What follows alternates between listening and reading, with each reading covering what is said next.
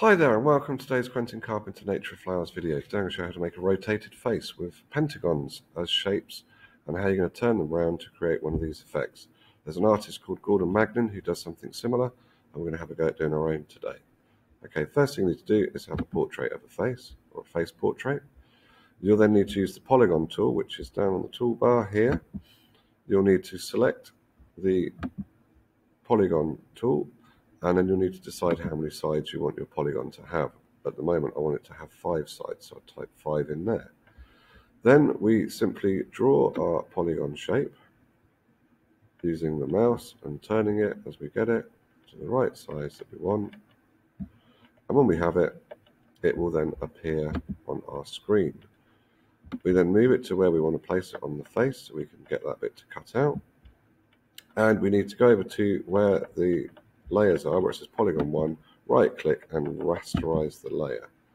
Then once we've done that, we use the magic wand tool, which is in this tool menu here, magic wand tool. Click on our shape so we get a flashing line around it. Hide the eye so we can't see that layer. Click on the background layer where the face is. Go edit, copy and edit, paste and you will see we have a now cut out part of face. We can then use this to rotate by moving the mouse outside of the box and turning the mouse so that the image rotates. We can place it wherever we want to put it, like so. We then simply hide that layer, go back to our polygon layer, click on it so that it is grey, make it slightly smaller, move it over to the face, click onto the layer with the face on it, hide the eye on the polygon layer, so we have no eyes, only the eye on the background layer. Before we do that though, we obviously need to select it. So we use the magic wand, we click on the polygon, make sure on the right layer, otherwise that happens. So click on the polygon layer, hide the eye, go to the background layer and go edit, copy, edit, paste. And you'll now see that we have another cutout shape. We then need to move the order of this above the other one. If we open them both, you can see where the new one is. Making sure we're on this layer, we then need to rotate it so that it fits our polygon pattern, like so. Maybe move it around slightly until we're happy with its arrangement. And when we are happy, we press enter. Then we repeat the process again. So if we hide those two layers, click on the polygon tool, make it smaller, place it where we want it. Click on the magic wand tool, select the shape, hide the eye, go onto the background, go edit, copy, edit, paste, move that layer to the top of the pile, open all the eyes, turn it around,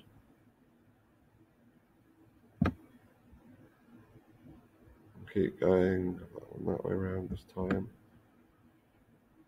And you can see we're now building up our shape. We'll do two more and then I'll show you how to add the drop shadows to them. So we press enter, hide the eyes, click on the polygon shape, go onto the magic wand tool, click on the shape, hide it, click on the background. In fact, we haven't made it small enough, so control D to deselect, go to the polygon tool, make it smaller, go on to the magic wand tool, click on the polygon, hide it on the background, go edit, copy, edit, paste, go to the move tool, move it to the top of the pile, open all the eyes, get to the move tool, rotate it around where you want it. That's it, we'll just do one more so I can show you the effect that we're after. So hide all the eyes, click on the polygon tool, make it smaller, place it where you want it, use the magic wand tool, click on it, hide it, scroll to the bottom, click on the background layer, edit, copy, edit, paste, bring that to the top, open all the eyes, then we need to rotate the top one. And there we have got our rotated face. Now it looks quite cool like that but it would look even better if we added a drop shadow to it as I show you on the one I showed you earlier you can see it's got a darker edge to it so to do this we need to click on each layer individually right click go to blending options Go down to our drop shadow. Make sure we tick it and also click here so we can then adjust the settings. Set it to linear light. Arrange it so there's no distance so it goes all the way around the object and then click OK. And you can see there's a slight shadow to it now. Do the same thing to each layer. So blending options. Once you set it up, all we need to do is click on it and click OK. Scroll down to the next layer right click, blending options, drop shadow, okay, the next layer, blending options, drop shadow, okay, and then finally blending options and drop shadow, okay, there we go. There is our rotated face portrait. Hope you've enjoyed watching today's tutorial. Obviously, if you have, make sure you check out some more of my tutorials on Quentin Carpenter Flowers.